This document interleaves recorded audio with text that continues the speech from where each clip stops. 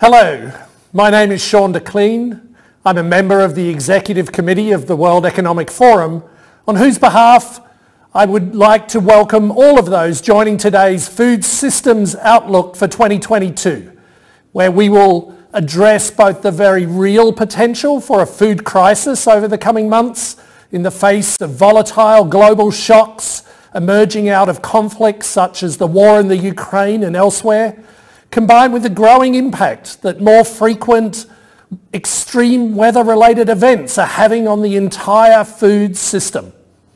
Equally important, however, the panel will also address the role that food and land use systems are themselves having in significantly contributing to climate change and biodiversity loss, which together with the substantial impact that poor or inadequate diets are having on our wider health systems, means it's become more urgent than ever for countries to address this complex set of drivers holistically and not in silos, to identify the opportunities for real and genuine change and to transition food systems to a net zero, nature positive future, one that is more resilient to shocks but at the same time able to nourish and feed everyone in a way that is both healthier for people and the planet as a whole.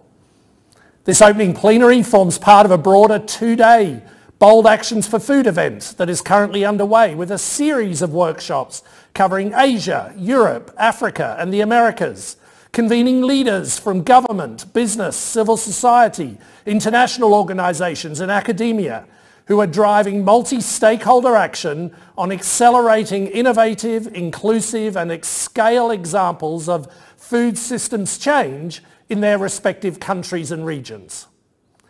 It's therefore our distinct pleasure, therefore, to introduce Bronwyn Nielsen, founder of the Nielsen Media Network, with over 20 years of broadcast leadership in Africa and globally, who will moderate what should be a dynamic plenary panel for which translation is available in both French and Spanish. Over to you, Bronwyn. Sean, thank you very much for the introduction and another warm welcome to the opening plenary of the Bold Actions for Food meetings. And of course, we are looking at the Food Systems Outlook for 2022. We're joined today by a distinguished panel of global leaders from public, private and social sectors working to improve global food systems and of course, as Sean alluded to earlier, address pressing challenges facing both people and planet. Again, emphasizing the fact that we have the enormity of a dual ta- challenge that we're tackling right now. We have a new era or new area of constant volatility and risk associated with unprecedented climate and weather events threatening harvests in key bread baskets around the world, such as Africa, a war in Europe, in the Ukraine, threatening food insecurity and food supply chains, a global pandemics, disruptions to livelihoods and supply chains as well.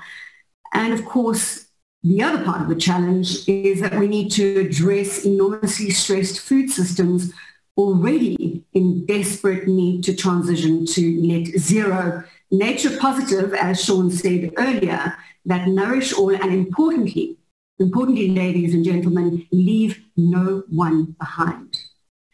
Now, we know the alarming stat that food systems account for one third of greenhouse gas emissions a leading contributor to climate change, and there is, of course, an enormous opportunity to make gains on climate goals. And we could unlock significant gains to realize climate commitments on both mitigation and adaptation if we do it right. Rising food and energy prices are further exacerbating a system already failing and the number is staggering, over 768 million people living in hunger worldwide, with threats of famine in sub-Saharan Africa, Afghanistan, and most recently, the food insecurity effects from the war, as I said earlier, in Ukraine, among others. In today's panel, we'll try to unpack the complexity and address a few key dimensions the global outlook for 2022 insofar as food systems are concerned. As I said, rising food insecurity, market volatility is something we also need to take into consideration. Enabling countries to take an integrated transition across food, nature and health, and then unlocking policy, innovation and finance levers to scale solutions. I'm joined, as I said, by a distinguished panel. We have Jurgens Voegele, who is Vice President of the Sustainable Development of the World Bank. We've got Rodrigo Santos, who is member of the Board of Management and President of the Crop Science Division of Bayer. Hanneke Faber, who's President of Nutrition Unilever, and Sam Kass, partner Acre Venture Partners. Thank you all for joining me and let's kick off this discussion. Jürgen, if I can come to you and perhaps get uh, your outlook given the short-term pressures we are facing as both Sean and I have highlighted in the context setting for this discussion, balancing that alongside the medium to long-term needs of resilience and adaptation of our food systems. Jürgen. Well, thanks very much, Bronwyn. Uh, you and, and, great to um, have the opportunity to discuss this really, really urgent and important issue with you and uh, on the panel and, and, and, all of you on, on, the, on the call. You've already framed actually the session really quite well. As you said, not only you know are we sick of, of COVID after two years, strong focus on dealing with that emergency, we also have really stepped up on the climate agenda overall really strongly over the last two years. But as if that wasn't enough, now we're facing a war and, and, and all its implications. And there are massive implications in terms of migration, in terms of economic fallout, but of course also in terms of what does it mean in terms of food security for hundreds of millions of people. Prices are shooting up. I think we've all been following this. And, you know, maybe more than ever, this just shows how, how exposed our food systems are globally. Russia and Ukraine account for almost 30% of international sales of wheat. Uh, they are very large. They're actually the largest exporter. Russia is the largest exporter of wheat, not the largest producer. That's China and India, but they do not export wheat in any significant amounts. And then plus poor harvest, supply chain issues, global stocks are low, very low, uh, even though they were rebuilt after the last food price crisis, which was about 12 years ago. They're now 31% below five-year average. And you know, also it's not just wheat; it also impacts edible oils. Uh, Ukraine is 50% of sunflower oil is exported by Ukraine. Barley, corn, uh, rapeseed, uh, also major implications on fertilizer production, fertilizer prices. So as I said, the war is just exacerbating what was already an important food crisis. Uh, COVID had already increased the number of food insecure to just about 800 million. I think uh, you mentioned this. So we were already in, on a bad trend, and this is just on top of We've seen the prices rise, uh, as, as, you have said, and, and, and as everybody's following, it's 53% uh, wheat price increase just over the last couple of months. So clearly those countries that are major importers uh, from Ukraine and Russia will feel the impact the most. Egypt is the largest importer of wheat worldwide. It imports about 70% of its wheat from Ukraine and Russia and that wheat accounts for 35% of daily calories per person. But uh, it's not only uh, Ukraine, it's not only Egypt. Most people will maybe not know that Indonesia is the second largest wheat importer from Russia. So um, again, they are thinking through what the implications are. But other countries are similarly affected. It's Georgia, Lebanon, Armenia, DRC, many African countries. Uh, South Sudan, up to 90% of their imports come from Russia. So there will be massive disruptions.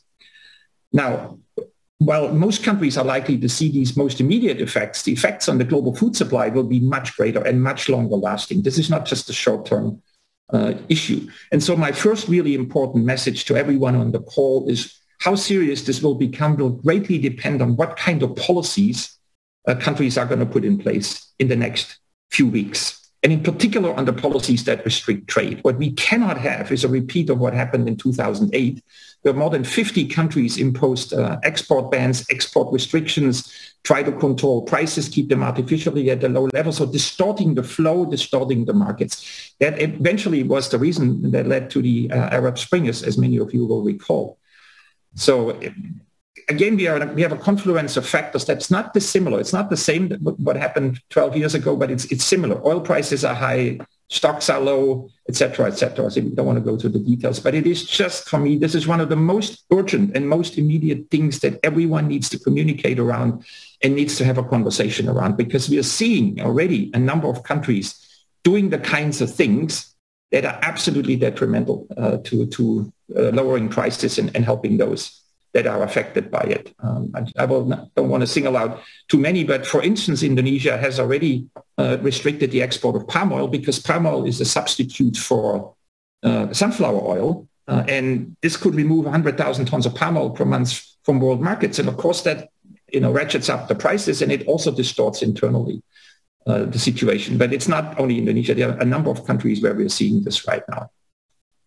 So, but as you said in, in your opening framing, we, we, should not just concentrate on the on the uh, immediate problems, but also address the longer term problems. The, the, transformation of the food sector is really long overdue. We are, we're about 10 to 20 years behind other sectors that we need to transform to address what's a more and more urgent problem, and that's the climate issue.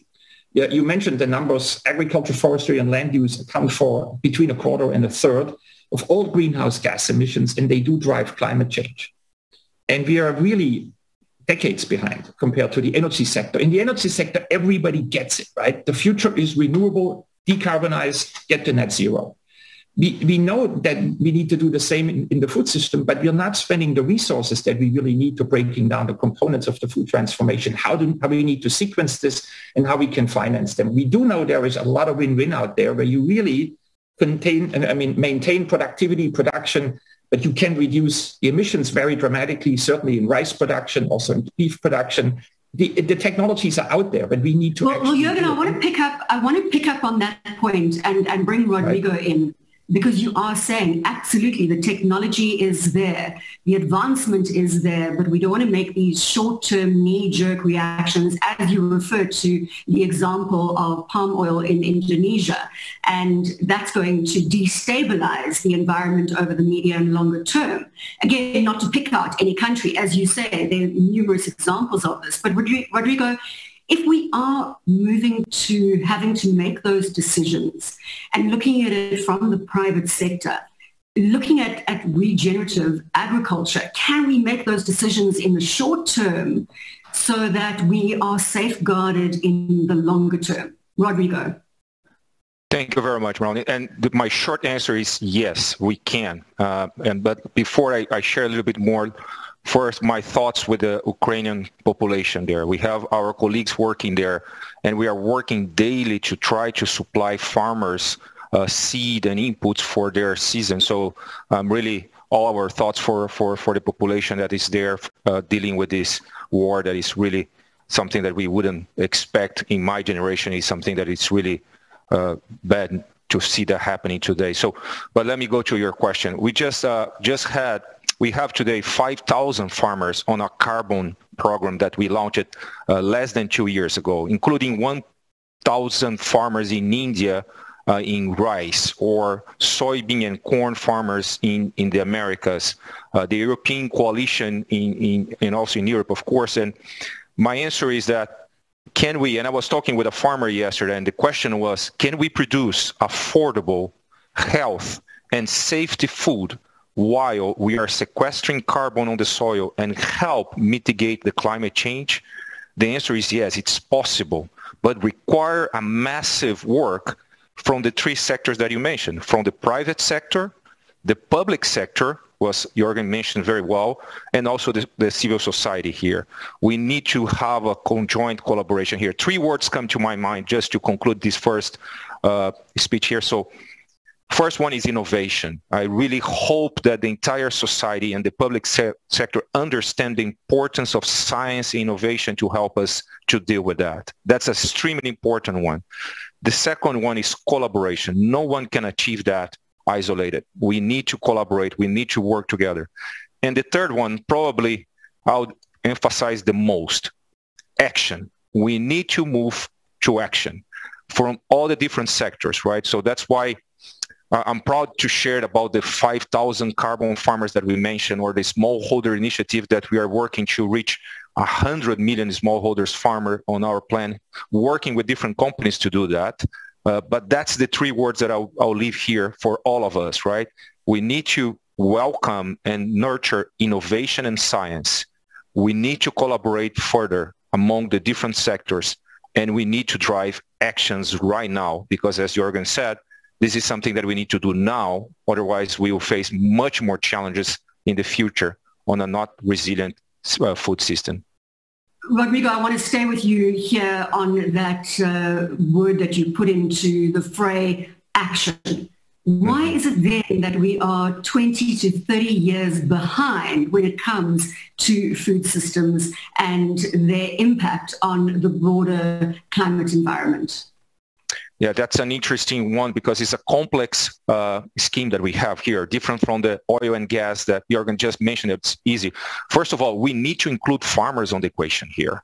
Uh, when I sit on this forum, when I go globally and have those conversations, farmers, they are part of the solution and we need to bring them to the table and help them to transform the food system, right? So how can we, the private sector have the programs that can help them to do that, the public sector to really put the regulatory systems in place, how we frame the political environment to support the farmers to move to that new system, new regenerative system, and also this, uh, the civil society understanding the extremely important role that the farmers will play in the future. So my short answer for that one is that it's a complex when you're dealing with small farmers in India, as I mentioned, or a large farmer in, in Cerrados, Brazil, and bringing them to the table, helping them to transform the food system is really, really, really important. Hanneke, from a Unilever perspective, I happened to come across your purpose, doing well by doing good. And I thought that's an excellent framing for this very discussion and what you are driving from a Unilever perspective in terms of the supply chain and perhaps picking up on what Rodrigo has laid the groundwork there from, from a private sector perspective how can we action more quickly? I'm sure you get asked that question all the time. Yeah, and, and Rodrigo is, is spot on. We got to act. The time to admire the problem is over. Um, so at, at Unilever, we believe, you know, we have a huge responsibility to help transform the food system. And there's five actions that we're prioritizing and that we think are really important in the system. And of course, we don't do this alone. Let me say that up front. We do that, you know, as part of coalitions with many partners. So the five are zero hunger, regenerative agriculture, plant-based, food waste, and nutrition. So on zero hunger, you know, Jurgen said it very well. Food security is so critical in the current context. And we must just work our very, very hardest to avoid this double catastrophe of war and hunger. Um, we're providing generous humanitarian aid um, and it is critical that we maintain a free flow of goods uh, and agricultural materials around the world at this time and avoid hoarding. Jorgen said it very, very well. Regenerative agriculture is also critical for our industry to get to net zero. We're a huge greenhouse gas emitter as an industry. Um, and to get to net zero, we, we got to act. So just on our Knorr brand, um, we're launching eight new large regenerative ag projects with farmers this year, uh, including in North America, in Iowa on soybeans, and in Arkansas on rice, in Europe, and in South America. Very, very important that we act. Uh, plant-based, uh, that's about the consumer and changing his or her diet to a bit less meat and a bit more plants will make a big impact for the planet uh, and for net zero. Um, so that's all about delicious products like uh, Magnum Vegan ice cream, which is absolutely gorgeous, um, or the vegetarian butcher products. Food waste reduction is also with the consumer. Um, you guys know the world wastes a third of all the food that we produce, which is an absolute crime. Um, and we're leveraging brands especially, like Hellmann's. Especially, Hanneke. Yeah. And I just want to emphasize that point, especially with 768 million people living in hunger. We just can't yeah. rationalize those two elements. Absolutely. And that's why all these things are, are linked because we're also using way too much land and therefore emitting too much too many greenhouse gases to produce all that food that we don't end up consuming. Um, so very, very important. And again, we're using our brands to make that a little funner. Maybe you saw our Hellmann's campaign on the Super Bowl, make taste, not waste. Um, their education is really, really critical. Um, Valley Nutrition, of course, we got to continue to make our products um, better for people with less salt, less sugar, fewer calories, uh, and more micronutrients. So that's the actions that we're taking, um, and um, hopefully that will help change the system. Well, that opens up beautifully to Sam, who led the food and nutrition policy for the Obama administration. Sam, you teed up perfectly there by Hanneke, who refers to nutrition, refers to the consumer making better choices, i.e. plant-based decisions. Come in with your thought leadership here. Uh, well, you know, it's going to take all parts of the equation from way upstream in ag all the way down to the consumer to move this system in a direction that we need to go. And, you know, I think as everybody's saying, we're fundamentally out of time. Like there's no more time to waste. In fact, we're way behind the eight ball. And you're seeing moments like this, like the Ukraine, exacerbate, you know, what was already a pretty fragile situation. Where now, like second year where wheat crop is likely going to be 15% below even the United States and other regions across the world, which makes us more vulnerable to these shocks. Um, and I think we're entering an age of volatility that is the norm. We are now seeing a pretty, like what will be our, our normal operating situation in various capacities around the world. So of course you have to bring in the consumer. Um, if you think that food companies are going to actually make the change that we're talking about here, they can't do it in isolation with what people are demanding and what they're eating. And so I think we have to take a very holistic a- approach to this. But there's a couple big things we got to start to do, uh, it seems to me. Um, one, there has every single food company has to have a transparent accounting of their carbon footprint and start publishing uh, their plan to reduce uh, the footprint. That is a baseline that only with that baseline can consumers start making more informed choices about whose products they should be buying, uh, what agricultural companies we should be supporting, et cetera. So that's sort of like a cornerstone of the whole thing. I think when we have that, then we can start to seriously understand the role that food and ag can play in sequestering massive amounts of carbon that for me is the gateway drug to transforming the system. Uh, right now, if you, yeah, before we move yeah. off, I, I, know we we're going to okay. hear lots Get more from you, but I think is such an important okay. point. I want to put it to Rodrigo. Exactly that: yeah. the transparent carbon footprint and the plans in terms of mitigating against that carbon footprint. Sam, I'm coming back to you, but I want to hear okay. from a private sector. Rodrigo, followed by Hanneke here. Rodrigo? From a Bayer perspective?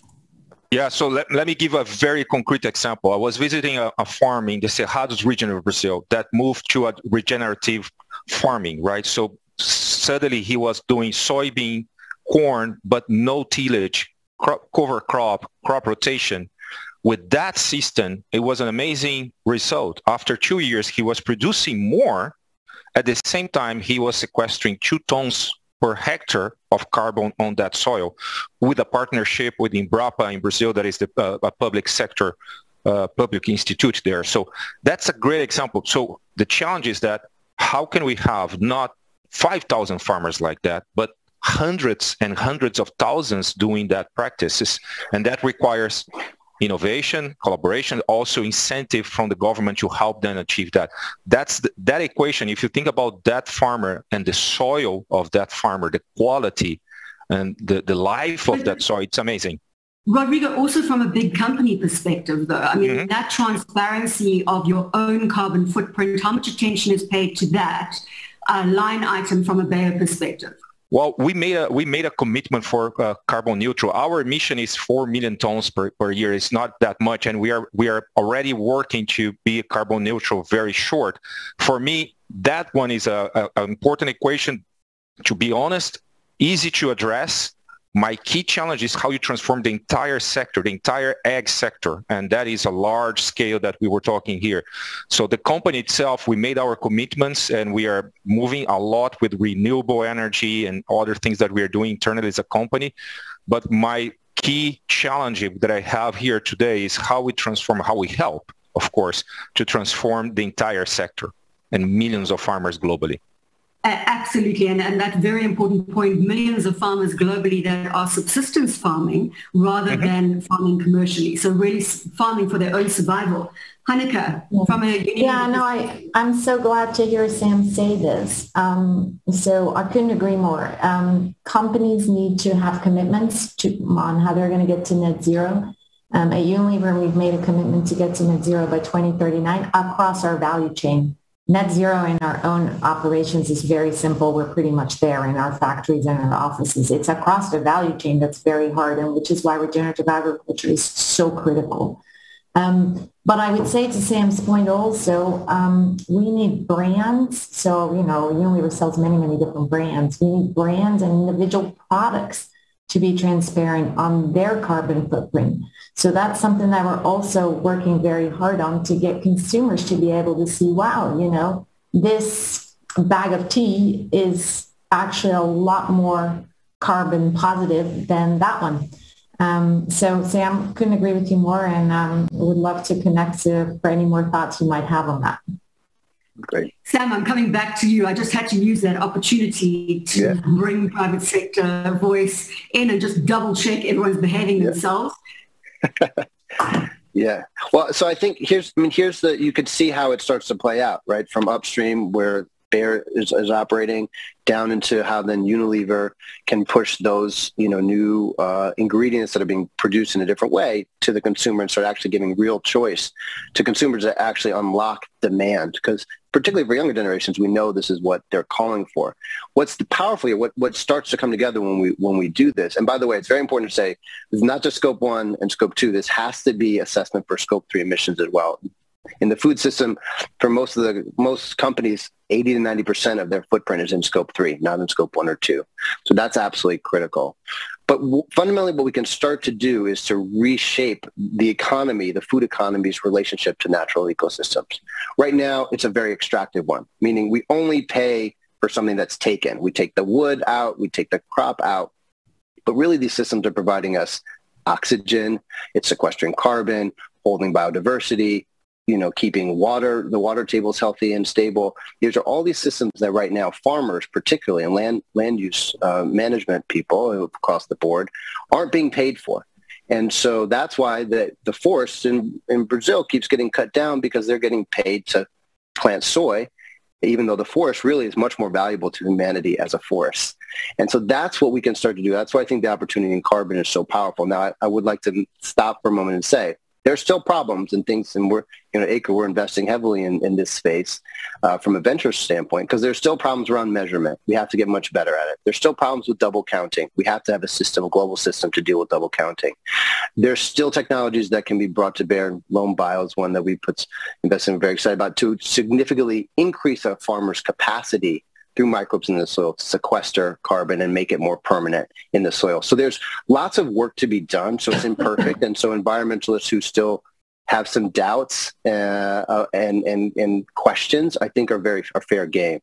But we have an opportunity to actually pay farmers for the first time to do the right thing. Right now, we've been begging them, please, we, can you change your practices? It doesn't hasn't made economic sense for them. Now we can pay them to do the right thing, and if we then pull that through the supply chain, where we start to incentivize both brands and producers to start sequestering carbon and start valuing the ecosystem that they should be protecting. I think we have, honestly, the only chance that I've ever seen really to systemically transform the global agricultural system and start solving some of the biggest problems that we face. And I hope in the moment of crisis like we're in right now, that we don't take our eye off that broader work because we just simply can't afford to. Um, but that's what's really possible. And I think you know, the pieces are just starting to come together, but we have to dramatically invest more. We have to get out of our comfort zone. We have to set much more aggressive targets. We're out of time. It's the time has to be now. So I've got eight more minutes for the panel. And of course, we also want to talk about COP27. We want to talk about the, the global milestones that we've made in this space when it comes to, to food systems. So I'm going to bring back Jürgen and let's do another round on the panel here in terms of, of Jürgen as we build to, to COP27 how can we ensure that we are actually adding to those milestones that have already been achieved and that we're not just at the table having the same conversations over and over again, i.e., when it came back to what, Rigo was saying, he said that that third element is action. I think everybody is there. Jürgen, to you.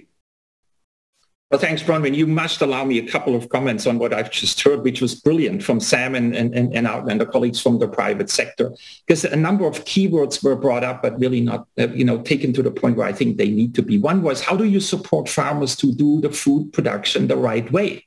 That is the key. Right now, they're not supported to do that. The government support farmers to the tune of three quarters of a trillion dollars a year. That's called agriculture subsidies.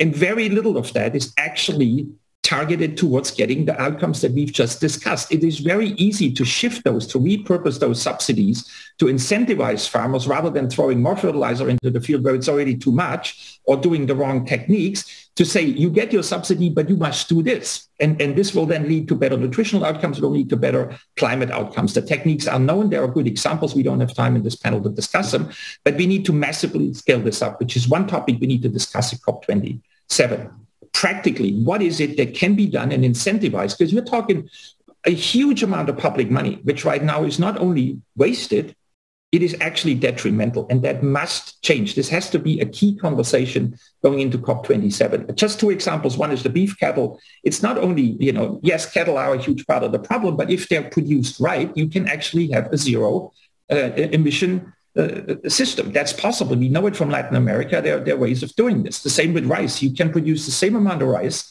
but if you do it differently, you don't want to go into the technical details. You can you can cut the emissions in half, and the farmer has no no loss. It just needs to be done and managed well. So I think these are hugely important points. And I wanted to make one other point because I wrecked my head over this question, why are we 20 years behind now for a long, long, long time? And one thing I've come up with together with, with, with our team is we don't have a North Star yet, so to speak. You know, in energy, people understand. They see a smokestack and they know that's bad. And they know the North Star is to get rid of carbon and fossil fuels. And then we will be fine, regardless whether it's, whether it's, you know, solar panel or windmill or whatever other technology will come out. It's clear what it is that needs to go away and what needs to be done. It's not clear in agriculture. It is not clear to most people what is really wrong other than the food waste because when you look at a field, it's green, it's beautiful, it produces, and people don't see it. They don't feel it that something is wrong with it so fundamental. I think those are two topics I want to certainly take to COP27. In terms of practical action, the policy action to me is critical, what I said earlier in, in, in the export, but that's short term. The subsidy issue is absolutely crucial and essential. And then pushing the technologies that are already out there. Companies are out there that have fantastic technology which is not being used because the farmer has no incentive to do it, because the consumer doesn't pay more for a liter of milk. If the cow that it's produced from has, has a lower genetic, a better genetic uh, you know, composition than, than the one that doesn't or, or doesn't use a, a, supplement that reduces methane emissions by another 30%. All this is out there, but it's not being used. And then, of course, there is what Rigo was saying, there's still a bunch of stuff that we still need to invent. So innovation is absolutely critical. We need to continue to invest in innovation for a purpose, not just innovation, but for the purpose of getting making the food system transform and making it better. And there it goes, innovation for a purpose. Hanneke, what will you be driving at COP27 from a Unilever perspective, again, to build on milestones that have already been achieved and try somehow to close that gap that we are 20 to 30 years behind the curve when it comes to transforming food systems. Yeah. Yeah. So I think first of all, we got to make sure food's on the agenda for these meetings. So I'm at COP26 in Scotland. It wasn't actually even on the agenda, um, which is horrific because we're such a huge emitting industry. Um, that has to change. So um, let's make sure it's on the agenda and then show up obviously, as individual companies, as NGOs, as governments, and talk about the real issues. I couldn't agree more with Jürgen. Um, you know, repurposing agricultural subsidies is critically important to get to regenerative agricultural practices to incentivize farmers to do the right thing. They're they're business people. They're not going to do it if it doesn't make money for them and if they get incentivized for actually doing the wrong thing. Um, I, I, don't agree with Jürgen that that's easy to do. I think uh, the EU's been trying unsuccessfully. Um, the other big geographies haven't even tried yet. So, but I do agree it's a giant issue that needs to be resolved. Sorry, on this one, you know, it's totally impossible to ask for reducing subsidies. No go, mm. politically impossible. Yeah. It is possible to have a conversation of saying, keep the same amount for political reasons. Mm. But give it to the same farmer for political reasons, but give it for a different incentive. Yeah. And Europe yeah. is not where it needs to be, but it has improved in the last 30 years quite a bit. Yeah. The, the actual emissions from agriculture, the, the, the, subsidy amount hasn't changed much in the last 30 years, about 60 billion euros mm. per year. But the, the emissions have been reduced quite significantly because a third of that money is actually given to do things the right way. And I've, I've, we've had success in other countries, notably China and others, having that same argument to change the way this is structured. Brazil is, by the way, also has, does, does a lot of good things in, in this direction. Yeah. Annika, yeah, you want to make a final point there before I bring Sam? No, no, I, I think it is all about repurposing the money that's flowing around. Um, I would have loved to see the EU do more, um, so, uh, you know, and go faster. So I think your help there, Jürgen, will be really helpful. Sam, if you can weigh in before I introduce uh, Don um, Q, if you can come in here, just give me a sense of COP27 consumers incentives in terms of farmers. Where do you want to leave it?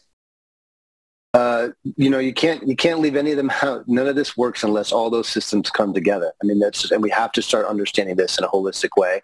You're gonna. I will just say on, on the policies after you know six years in the White House, I, I will say things are, are, night and day since when I was there, not that many years ago.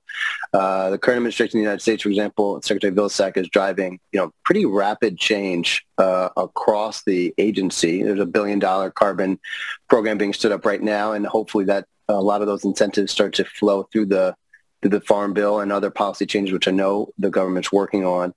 And you know, when we were there, climate change. You said the word climate change in agriculture. It was like there, there was like stop. There was no conversation to be had.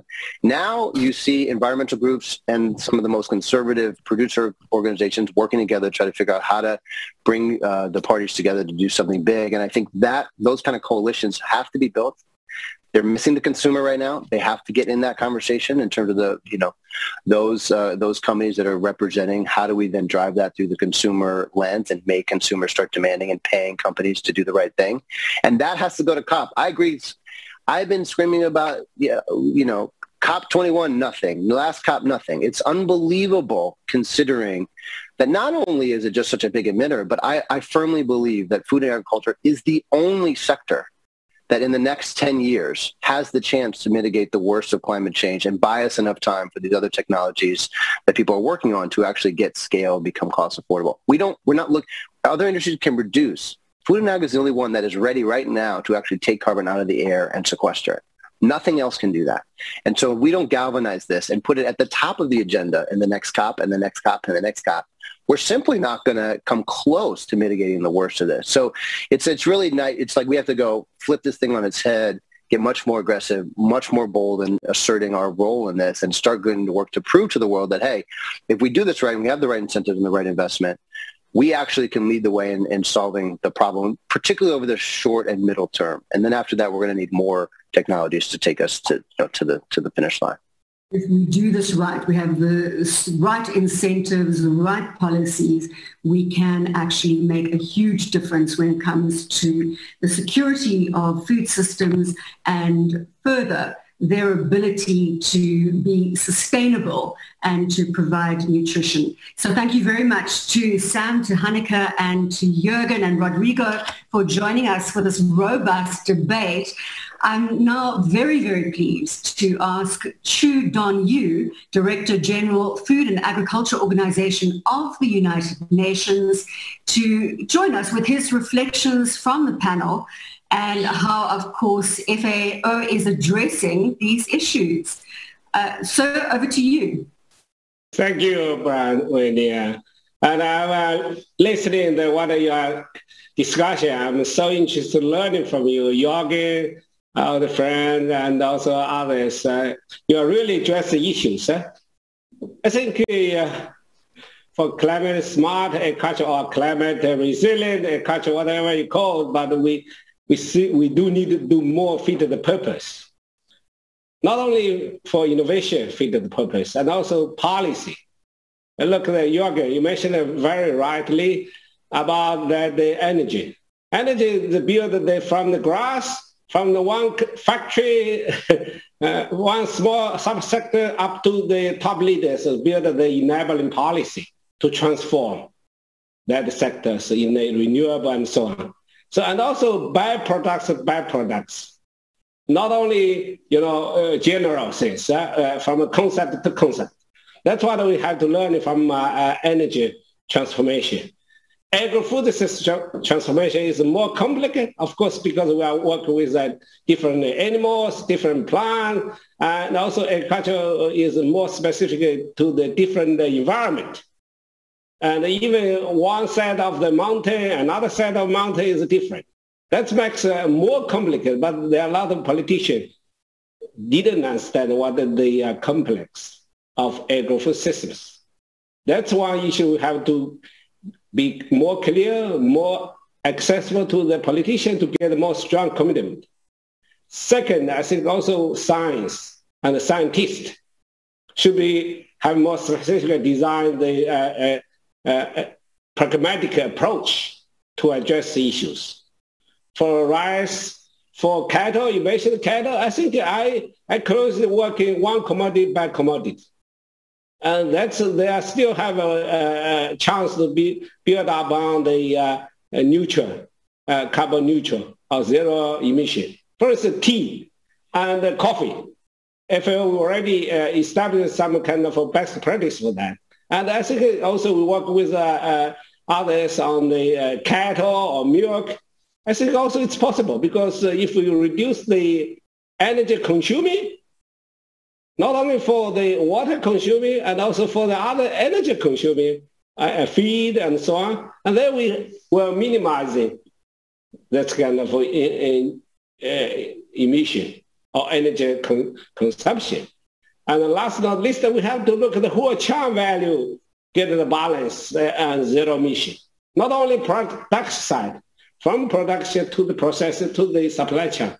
And then food loss and waste I think Honorable Minister Vilsack is here. So uh, when I was in China, also we we always put uh, a lot of efforts on how to to reduce the food loss in the West. I think so far globally is got a consensus on how to address the issues related to the food loss in the West. I hope and also who is the buyer pay for the price of the uh, agro-food system transformation. Get the consumers, get the family, farmer, and uh, all these key players work together. Not only farmers to to uh, take the responsibility, also the consumers should be. That's my idea. So uh, let's start to say I also support the call the uh, recently the uh, Ukraine uh, crisis. We should also first we should ask support the, the UN Secretary General to end the war, restore peace, and protect pe- people's life in Ukraine crisis without the ceasefire or peace, how can we move on the uh, food system production and supply from that region? It's that's our preconditions, peace and stability. Third, I think also we have to work together from the public and the private and the civil society together for agro-food system transformation. Thank you so much, uh, sir. I can yes, thank you. Qu Dongyu, who's Director General Food and Agriculture Organization of the United Nations. Thank you for your reflections there, sir. It's now my honor to invite the Honorable Tom J. Vilsack, who is the Secretary of Agriculture of the United States, for his closing remarks on the food systems outlook and the way forward. Thank you so much, sir. Well, thank you very much for the opportunity to be with you. Uh, and I've been listening to a very robust conversation and discussion about a very incredibly important topic. Couldn't agree more with the folks who have suggested that COP, future COP meetings have got to focus on food and agriculture as a critical component uh, to reducing uh, greenhouse gas emissions and getting our arms around the climate challenge that we face. In the U.S., we have very aggressive goals. Uh, we want to get to net zero U.S. agriculture by 2050. We want to meet our NDC target by 2030, which requires a, a significant effort. Uh, I'm going to just touch on a, a, couple of things we're doing in the U.S. and also talk a little bit about the international situation. Um, Sam Kass mentioned uh, our, our, effort, our billion dollar effort, uh, which we refer to as the Partnership for Climate Smart Commodities. You mentioned getting consumers engaged in this. Well, one way to get them engaged is by making sure they know when they go in a grocery store whether or not the products they are buying are in fact made from climate smart commodities. That is to say, uh, commodities that were produced through climate smart agricultural practices and regenerative practices. Uh, we've established a billion dollar effort uh, to begin the process of putting together large-scale pilots and demonstration projects uh, for the purpose of a rapid adoption uh, by our farmers, ranchers, and producers of those climate-smart practices and regenerative practices, the development and use of accurate and verifiable measurement tools that will allow us to track greenhouse gas reductions and or carbon sequestration, uh, allow us to create verifiable results that will establish a standard by which we can then establish and uh, market climate smart commodities and working with those consumer, uh, those producer groups, uh, working with food processing companies to create a market opportunity. We see this as a value, a value added opportunity for producers. We see it as an opportunity for producers as well to qualify for ecosystem markets, which will create another revenue stream. And we believe that the combination of resources from the government, uh, additional market opportunities, and uh, ecosystem markets will create the kind of incentive for rapid adoption by uh, producers across the United States.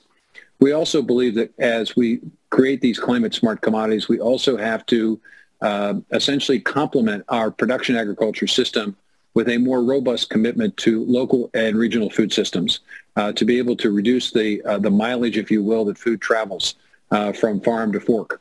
Uh, that's one of the reasons why we put together a billion dollar commitment to expand processing capacity in the United States. We want to create more competition for farmers, but we also want to make sure that we are investing in a robust local and regional food system. We learned during the pandemic uh, that the current system, while it is incredibly efficient, it was not resilient. Uh, and resiliency does involve uh, providing resources uh, to to create the, the kind of technical assistance that will allow small and mid-sized producers to understand where the market opportunities are uh, developing uh, food hubs, uh, uh an opportunity for smaller sized operations to basically aggregate uh, their production uh, to be able to market it more effectively to restaurants, to grocery stores, to schools, to institutional purchasers. we're looking at ways in which we can use the procurement dollars of the federal government uh, to encourage this as well. Just recently announcing uh, over $600 million of, of procurement opportunities uh, through our uh, temporary uh, food assistance program for food banks uh, and for schools to be able to purchase from local and regional distribution systems to create the muscle mass and memory, if you will, of how you can create and, and structure a more solid and robust local and regional food system. Renewable energy and fuel development also incredibly important, uh, especially since we are now challenging ourselves to create a low carbon aviation fuel. Uh, the reality is it's going to be a while before we have hydrogen uh, fueled airplanes uh, that can travel long distances. So in the meantime, uh, why not figure out a way in which we can significantly reduce uh, the uh, the greenhouse gas emissions from our transportation system by developing an aviation uh, fuel, a 35 billion gallon opportunity. Uh, we have an aviation grand challenge where the Department of Energy, Department of uh, Agriculture, and the Department of Transportation are joining forces to create this this new industry, this new opportunity. we're excited about this. We're excited about our farm to to, to school, farm to restaurant, farm to institutional purchaser network that we're creating uh, as part of our, our effort. Uh, let me speak briefly about uh, the commitment that we're making in terms of innovation. It was mentioned uh, during the course of your conversation of the important role that innovation is playing and needs to play. Uh, we joined forces with the United Arab Emirates, the United States, in asking the world to join us in partnership uh, to promote and to expand rapid adoption of, of innovation uh, in this space. Uh, we started off with a handful of countries and a few NGOs. We now have over 100 partners who are part of the AIM for Climate initiative that was launched uh, uh, by President Biden uh, during a summit meeting early in 2021, mentioned during the COP26 meeting, and it's going to be a focal point of the next two COP, COP meetings. Uh, we now have over 100 partners. We have uh, Sprint partners. We have now nine Sprint uh, operations where several hundred million dollars is being committed by private sector uh, folks to look at ways in which they can expand uh, significant adoption of climate smart practices. Uh, IBM just recently announced a, a partnership, a sprint partnership, roughly $10 million, where they're going to provide technical assistance and some of their some of their data processing to be able to enable farmers to do a better job of understanding in places like India and elsewhere how they could use climate smart practices to be more productive and also to reduce their greenhouse gas emissions. Um, an opportunity as well uh, for us to continue to look for ways in which we can encourage investment in this space. We started with a $4 billion uh, goal. Uh, we reached that goal very quickly uh, in terms of commitments. Uh, we're now looking at trying to get by COP27 an $8 billion uh, commitment over the next several years. the UAE is very interested in this because they import 80% of their food. they want to make sure that that 80% is still available, notwithstanding the, the changing climate. They also want to be more self-sufficient uh, looking at creative and innovative ways uh, to expand significantly agricultural production. And we at USDA are also engaged in this uh, by investing in everything from uh, research to uh, vertical uh, vertical farming. we're going to see, I think, a very extensive effort in urban farming and expanded opportunities there as well. So there's an awful lot going on in this space. Um, and I think we, I think there is a, a tipping point that we're reaching in terms of the recognition and acknowledgement of the need for agriculture to be a leading indicator in this effort to uh, to reduce greenhouse gas emissions. I agree with Sam Kass that I think agriculture does have the opportunity to make significant strides uh, very early in this process. Maybe get there before construction, maybe get there before transportation, maybe get there before utility industries uh, are able to get to their net zero future. Uh, so we're excited. Uh, we're, uh, we're we're really looking forward to uh, awarding that's billion dollars uh, in the, the spring uh, to see what kind of large-scale projects and even small uh, demonstration projects will be funded. Uh, we anticipate and expect that there's going to be a, a quite a bit of competition for these resources, and we think it will spill over into the uh, Farm Bill debate of 2023 as we as we look to recraft agricultural policy in the U.S. Thank you so much to the Honourable Tom J. Vilsack. He is the Secretary of Agriculture of the United States. Uh, very appropriate closing remarks and keeping up there, sir, the energy of the panel. Certainly it's all about action, action as we race towards COP27, building on the milestones that have already been achieved in 2022. Again, I'd just like to thank uh, Qu Dongyu, Director General, Food and Agriculture Organization of the United Nations, and of course Hanneke Faber from Unilever, Sam Kass, Acre Venture Partners, Rodrigo Santos from Bayer, Jürgen Vergole, who's the Vice President, Voegele, my apologies, the Vice President for Sustainable Development at the World Bank, Thank you all for the robust discussion. Of course, you can expect two more days of passionate engagement, working to action to remedy the situation, ensuring that short-term decisions, emergency decisions, don't derail medium and long-term impact of the food systems globally.